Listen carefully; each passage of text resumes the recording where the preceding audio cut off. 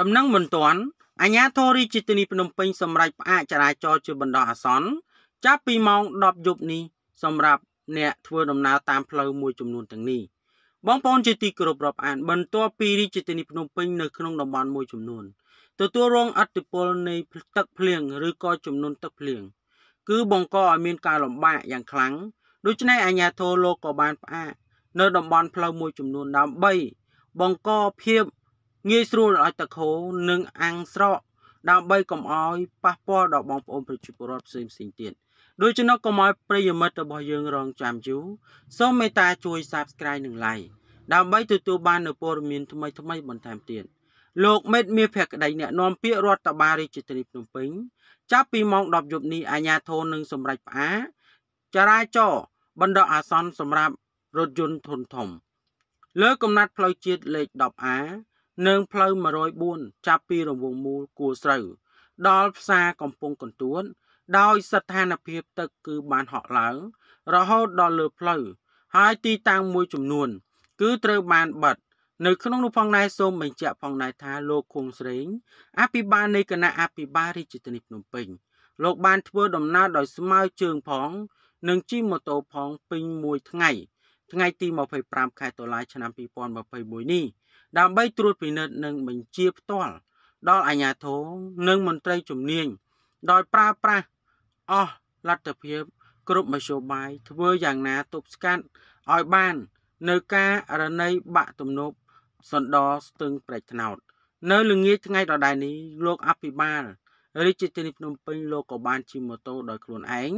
ចុះពិនិត្យស្ថានភាពទឹក នៅតាមបណ្ដោយផ្លូវសណ្ដោនៃទឹកស្ទឹង ហើយបានបញ្ជាកម្លាំងក៏ដូចជាមន្ត្រីជំនាញទប់ស្កាត់ការហូរច្រោះនៃរនាកនៅពេលដែលមានបញ្ហាកើតឡើង លើទំនប់ស្ទឹងប្រែកថ្នោតនៅក្នុងភូមិភូមិសាស្ត្រសង្កាត់សាក់សំពើ និងសង្កាត់ព្រៃសរសង្កាត់ដង្កោ ដែលអាចបង្កឲ្យមានហានិភ័យដល់ការបាក់ទំនប់ការពារទឹកចំនួនមួយនេះបាន បើមិនមានវិធានការតាន់ពេលវេលានោះទេ តែបើតាមការបញ្ជាក់អំពីមន្ត្រីជំនាញបានឲ្យដឹងថា ស្ថានភាពទឹកស្ទឹងព្រែកថ្នោតកើតមកដល់ព្រឹកល្ងាចថ្ងៃទី25ខែតុលាឆ្នាំ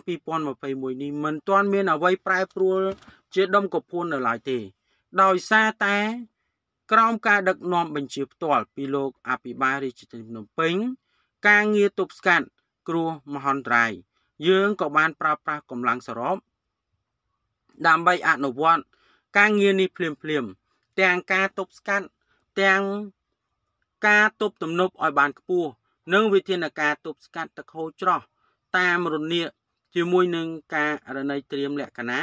ទុកជាមួយនឹងលក្ខណៈវែងឆ្ងាយប៉ុន្តែទោះបីជាយ៉ាងណាក្តីលោកអភិបាលរាជធានីភ្នំពេញលោកនៅតែបញ្ជាក់យ៉ាងម៉ឺងម៉ាត់ចំពោះអាជ្ញាធរនិងកងកម្លាំងទាំងអស់ គឺត្រូវតែនៅជាប់ជាប្រចាំជាមួយនឹងប្រជាពលរដ្ឋពេលមានហានិភ័យកើតឡើង យើងត្រូវតែដោះស្រាយ